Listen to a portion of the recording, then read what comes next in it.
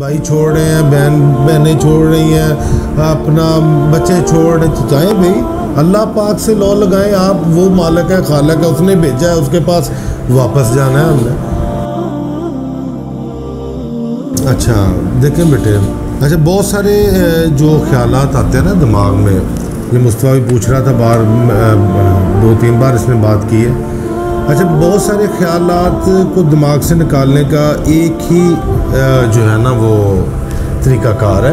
वो ये है कि आप बहुत सारे ख्याल को जहन से निकाल के ना एक ख्याल में गुम हो जाओ एक ख्याल में ध्यान ले जाओ अपना ठीक? बनता ही है ना कि आप जिधर को भी अ, मतलब अपने आप को लेकर चलना चाहें तो आप चल सकते हैं। नीयत तो आपके हाथ में है ना। आप बहुत सारे ख्याल को छोड़ें अल्लाह के ख्याल में गुम हो जाएँ अल्लाह को पहचानें। अल्लाह से प्यार करें, अल्लाह से लाड करें, अल्लाह पाक से अपनी मोहब्बत का इजहार करें। ठीक? अल्लाह पाक ही अता करने वाले हैं, अल्लाह पाक ही देने वाले हैं। इस कायनात में ज़र्रा भी इधर उधर नहीं हो सकता ना। कोई काम अल्लाह की मर्ज़ी के बगैर नहीं हो सकता। ये बात दिल में डाल लें तो उससे प्यार करें, बाकी दुनिया को छोड़ें आप। भाई छोड़ रहे हैं, बहन, बहनें छोड़ रही हैं, अपना बच्चे छोड़ रहे तो जाएँ भाई, अल्लाह पाक से लॉ लगाएँ, आप वो मालिक है, खालक है, उसने भेजा है, उसके पास वापस जाना है हमने। ये तो एक दरमियानी, एक तल्लुक है जो अल्लाह पाक ने बनाया है। कोई बात नहीं, अगर कोई छोड़ता तो छोड़ जाए, ठीक? आप इस बात को छोड़े बगैर, इसको एक तरफ़ किए बगैर, एक बात जहन में रख लें कि वो अल्लाह पाक है जिनसे आपने तल्लुक बनाना है, या तल्लुक को मज़बूत करना है, या अपना प्यार, लाड उसके साथ करने है, दोस्ती लगानी है, जो गाय के गोबर और खून में से आपको दूध जैसी नेमत अता करता है। सोचा कभी आप? एक तरफ़ गोबर है, एक तरफ़ खून है। दरमियान से आपको क्या मिल रहा है? साफ़ वाइट दूध। ये मेरे रब की कुदरत है। अच्छा दूसरी तरफ़ आप आ जाए।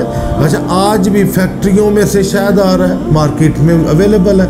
अगर आप आज भी मक्खी का शहद जो ओरिजिनल शहद है, उसको और मार्केट वाले शहद को इकट्ठे सेल करना ले जाएँ ज़रा।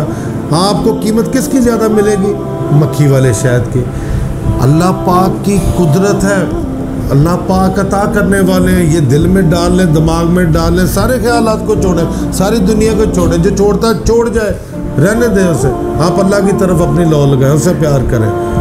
तो आप देखें, आप परेशान हैं, वो भी चला गया, वो भी रुस गया, वो भी रुस गया। की मसला यार आप दिमाग से ये बातें निकालें, अल्लाह पाक से लगाएँ, रात को दो नफल पाबंद कर लें, अपने आप को तजुद पढ़नी पढ़नी है। प्यार वाली इबादत है वो। करें अल्लाह पाक से, जो इल्तजा करनी है, जो अपना मांगना है, जो करना अल्लाह पाक से सारे मामला उस वक़्त करें। सारी राम कहानी अल्लाह पाक को बताएँ कि अल्लाह पाक ये मसले मसाइल है मेरे साथ। अल्लाह पाक ने हल करना है। तो आप देखें, दूध को देखें, शहद को देखें, अल्लाह पाक की खालक है, मालक है, जो मर्ज़ी अता करे। ठीक अच्छा एक दोस्त था उसकी नौकरी चली गई परेशान, बदहाल, पता नहीं क्या, अगर साल पूरा कभी किसी बाबे के पास जा, कभी किसी बाबे, मैंने कहा, यार, बात से छोड़ इन सबको।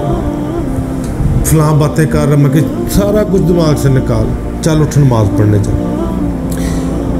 तहजद उसने शुरू की। अल्लाह पाक ने फजल करना शुरू कर दिया।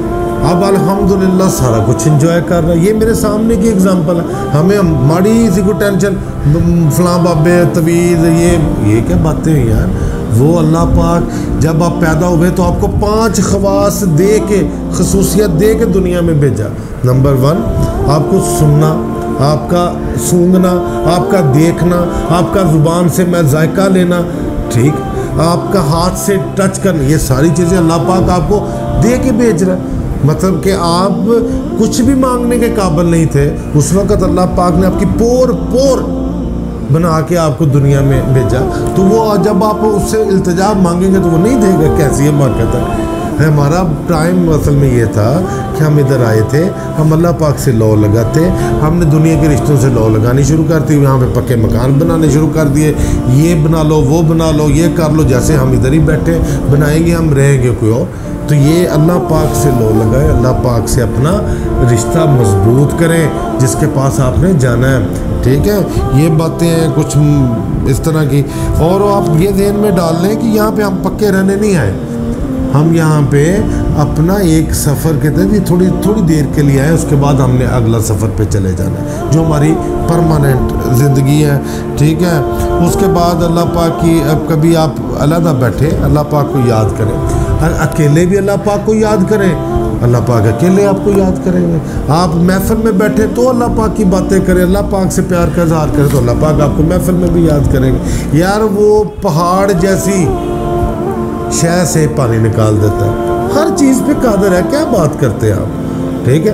आप उससे मांगे जो मतलब हर शय पे कादर है इधर उधर से मांगना, हर दर पे चले जाना, ये क्या बात है? ये कोई बात नहीं है।